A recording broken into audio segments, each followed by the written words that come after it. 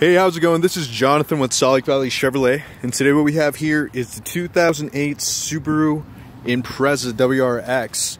Um, this one's going to have the 2.5 liter turbocharged engine. Of course, you're going to have some nice power coated rims. Uh, pretty bright blue metallic on the outside exterior. I mean, you have seems like you have a I don't know if that's an aftermarket or stock uh, exhaust.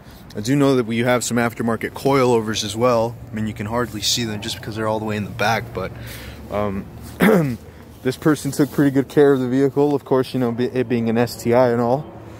Um, let's see, let me go ahead and turn it on for you. See what we're dealing with.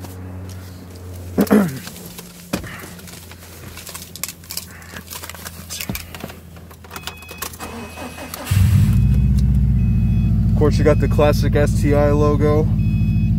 There's your gauge, your entertainment system. More information up over here. Of course, you have your modes to work with as well. All in all, this is a pretty nice uh, overall uh, performance-based vehicle. Got a lot of stuff to work with. I mean, it's a nice little wagon. Apart from that, if you have any questions, you want to go ahead and give it a test drive, I'd be more than happy to help you out on that.